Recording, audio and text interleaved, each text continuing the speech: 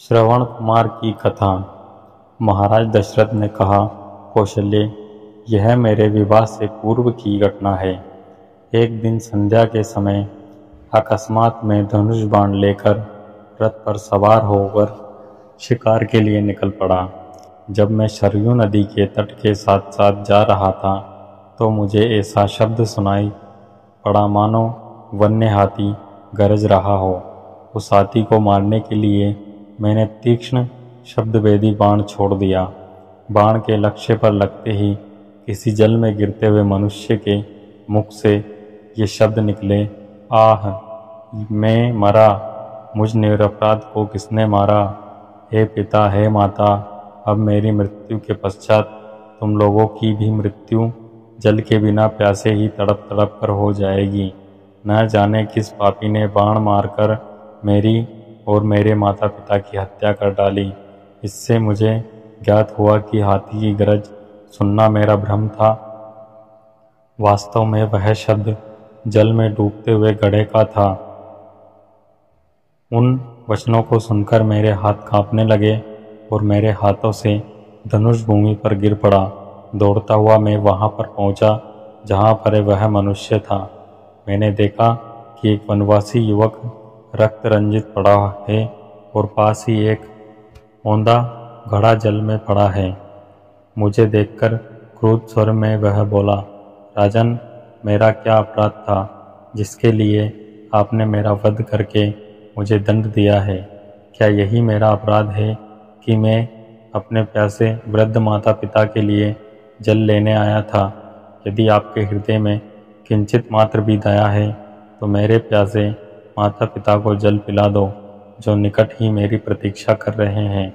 किंतु पहले इस बाण को मेरे कलेजे से निकालो, जिसकी पीड़ा से मैं तड़प रहा हूँ। यद्यपि मैं वनवासी हूँ, किंतु फिर भी ब्राह्मण नहीं हूँ। मेरे पिता वेश्य और मेरी माता शूद्र है।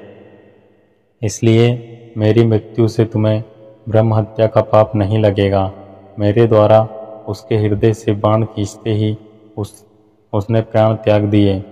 अपने इस कृत्य से मेरा हृदय पश्चाताप से भर उठा। घड़े में, जल भर के मैं उसके माता पिता के पास पहुँचा। मैंने देखा कि वे दोनों अत्यंत दुर्बल और नेत्रहीन थे। उनकी दशा देखकर मेरा हृदय और भी विदीर्ण हो गया। मेरी आहट पाते ही वे बोले, बेटा श्रवण, इतनी देर कहाँ लगाई? पहले अपनी माता को पानी पिला दे क्योंकि वह प्यास से अत्यंत व्याकुल हो रही है। श्रवण के पिता के वचनों को सुनकर मैंने डरते डरते कहा, हे मुने, मैं अयोध्या का राजा दशरथ हूँ। मैंने अंधकार के कारण हाथी के भ्रम में तुम्हारे निरपराध पुत्र की हत्या कर दी है। अज्ञानवश किए गए अपने इस अपराध से मैं अत्यंत व्यतीत हूँ। आप मुझे दंड दीजिए। पुत्र की मृत्यु का समाचार सुनकर दोनों विलाप करते हुए कहने लगे, मन तो करता है कि मैं भी श्राप देकर तुम्हें भस्म कर दूँ और तुम्हारे सिर के साथ टुकड़े कर दूँ।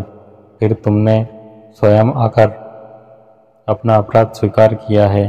अतः मैं ऐसा नहीं करूँगा। अब तुम हमें हमारे श्रवण के पास ले चलो। श्रवण के पास पहुँचने पर उसके मृत शरीर को हाथ से टटोलते हुए हृदय विदारक विलाप करने लगे। अपने पुत्र को उन्होंने जलांजलि दिया और उसके पश्चात वे मुझसे बोले, हे राजन, जिस प्रकार पुत्र वियोग में हमारी मृत्यु हो रही है, उसी प्रकार तुम्हारी मृत्यु की पुत्र वियोग में घोर कष्ट उठाकर होगी। श्राप देने के पश्चात उन्होंने अपने पुत्र की चिता बनाई और पुत्र के साथ वे दोनों स्वयं भी चिता में बैठकर जलकर भस्म हो गए। कौशल्य, मेरे उस पाप का कर्म दंड आज मुझे प्राप्त हो रहा है।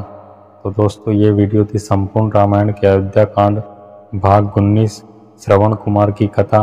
ये आपको कैसी लगी हमें कमेंट करके ज़रूर बताएँ। और वीडियो अच्छी लगी हो तो वीडियो को लाइक, शेयर और ऐसी और वीडियोस के लिए बने रहे हमारे यूट्यूब चैनल पर। वीडियो में अंत तक बने रहने के लिए आप सबका धन्यवाद। जय श्री राम।